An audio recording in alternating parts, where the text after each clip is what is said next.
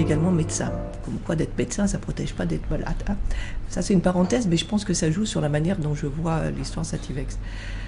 Alors ce Sativex euh, a, été, a eu enfin l'enregistrement en France il y a plus de deux ans, c'était en janvier 2014. Et au moment où le Sativex est sorti, donc il y a eu euh, des envolées en disant, bon ben, premier trimestre 2015, parce qu'après il y a là, ce qu'il faut faire, c'est, donc passer au niveau du comité économique, premier, euh, premier trimestre 2015, le Sativex sera disponible. il faut savoir que le produit est disponible dans pratiquement tous les pays européens. Il n'y a que la France où on n'a toujours pas le produit on sait parfaitement les patients que ce produit, c'est pas un miracle. On va pas se mettre à courir, tout va disparaître, mais c'est une amélioration nette euh, de, de la spasticité avec ce produit.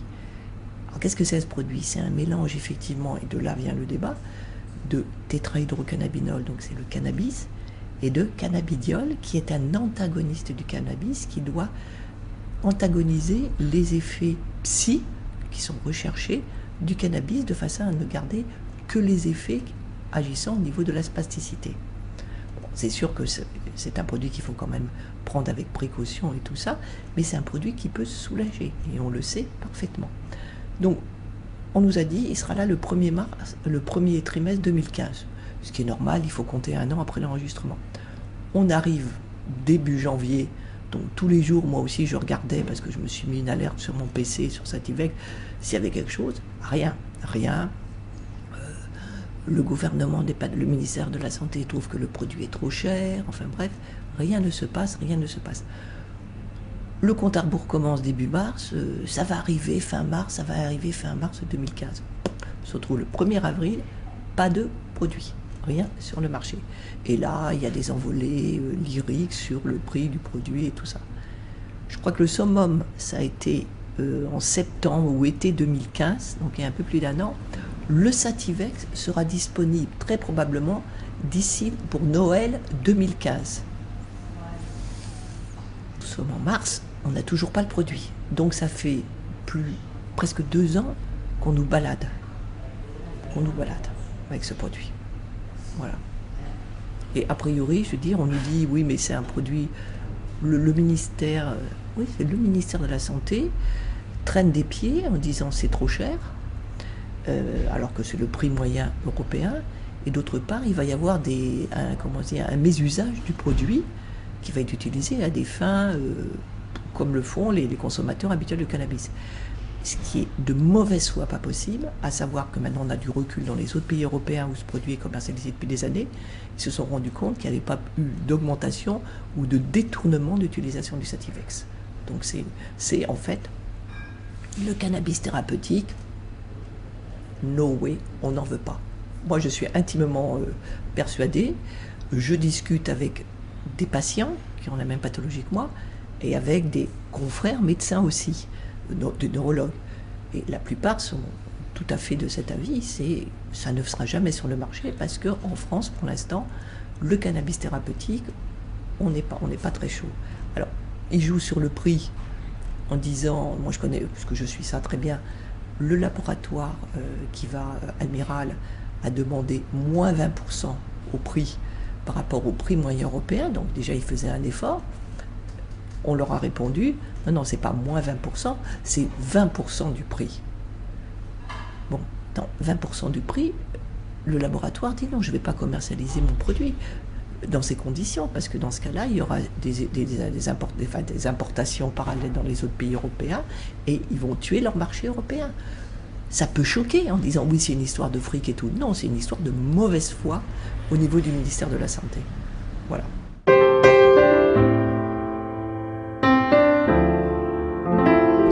Pas dit au début quand je me suis présentée, je suis aussi, euh, depuis un peu plus d'un an, patiente experte au niveau de la Ligue française contre la sclérose en plaques. Donc on était tout un pool de, patients d'un peu en France et on a suivi une formation dite de patients experts ou patients partenaires dont l'objectif est de mettre entre guillemets à disposition euh, le recul et toutes les expériences qu'on a eues avec notre maladie et de façon à pouvoir partager ça avec d'autres patients. La première chose que nous avons fait, tous les patients experts au nom de la Ligue française contre la CEP. Je crois que la première lettre, on a fait un courrier à Marisol Touraine. D'ailleurs, je crois que ça a été repris dans je ne sais plus quel canard. Euh, je me demande si c'est pas Le Monde ou je, sais pas. Ça a été repris dans un canard là. Mhm. Donc, on, a reçu quelque temps après une lettre de, son cabinet en nous disant qu'on avait, enfin, la langue de bois, le truc est déjà tout préparé. On a dit, quelle que soit la demande, la réponse est la même. On a bien pris note de votre question. Madame la ministre est tout à fait euh, euh, sensible à ce problème. Elle suit particulièrement de près le dossier. On vous tient au courant. Ciao. Ok. Ça aurait pu être pour n'importe quel médicament ou n'importe quoi dans le domaine de la santé. On a réécrit une deuxième lettre euh, début 2016, donc il n'y a pas très longtemps, en disant qu'on souhaitait rencontrer Madame la ministre, qu'on serait deux patients experts pour aller lui expliquer de vive voix. Parce que je veux bien, il y a ce qu'on lit, ce qu'on entend, mais qu'on lui explique de vive voix les galères qu'on a avec cette foutue spasticité, les galères quotidiennes. Voilà. Pour l'instant, pas de réponse. Pour répondre à vos questions, qu'est-ce qu'on peut faire? Alors après, vous allez me dire, on peut essayer de s'en procurer ailleurs en Europe, puisqu'a mhm. priori, il y a la libre circulation des médicaments. alors, c'est pas évident pour plusieurs raisons. D'abord, c'est vrai que c'est un stupéfiant, même a un antagoniste et tout, ça rentre dans la catégorie des stupéfiants. D'autre part, la prescription doit être faite par un médecin neurologue.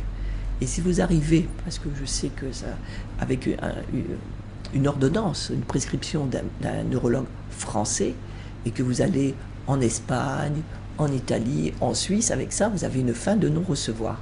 Donc la seule solution, c'est d'arriver, et ça, on en parle beaucoup, je, je pense que ça se fait, hein, il y a déjà des filières qui sont faites, via un médecin neurologue français qui connaît un médecin neurologue d'un pays où il y a ça, ben, le médecin lui fait l'ordonnance et tout comme ça, et vous achetez le produit. Et, et vous ramenez le produit dans toute illégalité, mais enfin bon, vous pouvez faire ça. Alors après se pose le, problème du prix, parce qu'il faut reconnaître que bon, par rapport à certaines biothérapies dans le cancer, ça n'a rien à voir, mais c'est un produit quand même qui, qui va tourner autour des 600 euh, euros par mois à peu près, hein, comme ça, bon, sur un petit pool de patients, mais bon, on peut, dans ce cas-là, vous l'achetez, c'est de votre poche complètement. Je sais qu'il y a des filières qui se font parce qu'il y a des patients désespérés. Mmh.